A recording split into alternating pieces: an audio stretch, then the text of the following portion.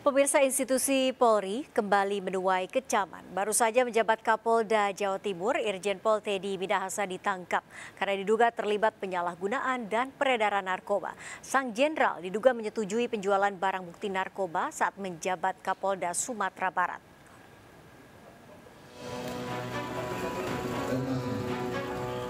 Sat Narkoba Polres Jakarta Pusat beserta Direktorat Narkoba Polda Metro Jaya mengungkap lima orang warga sipil dan lima anggota polisi dalam dugaan kasus penyalahgunaan dan peredaran narkotika jenis sabu.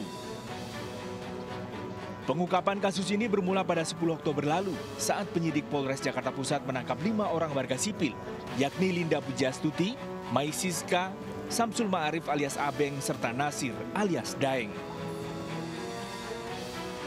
Dari keterangan para pelaku, polisi mendapati bukti bahwa narkoba diperoleh dari anggota polisi di Polsek Kalibaru, Jakarta Utara, bernama Aibda Ahmad Darmawan dan Kapolsek Kalibaru, Kompol Kasranto.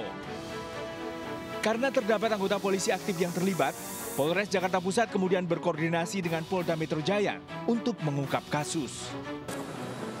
Dari penuturan para pelaku, asal narkoba mengarah kepada Aibtu Janto Situmorang yang juga seorang anggota polisi aktif.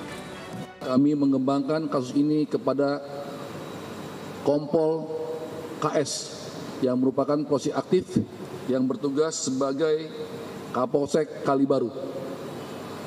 Setelah itu, Kompol KS juga menyertakan Aibtu J, yaitu anggota Polres Tanjung Priok.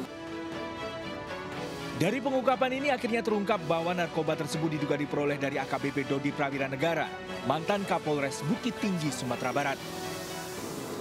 Dari keterangan A dan L, disebutkan bahwa masih ada barang lagi yang simpan oleh saudara D, yang berada, ulangi saudara D adalah polisi aktif berpangkat AKBP yang mantan sebagai Kapolres Bukit Tinggi, yang sekarang menjabat sebagai Kabak Ada Polda Sumbar. Kita amankan BB di kediaman saudara D di daerah Cimanggis dengan BB sebanyak 2 kg sabu.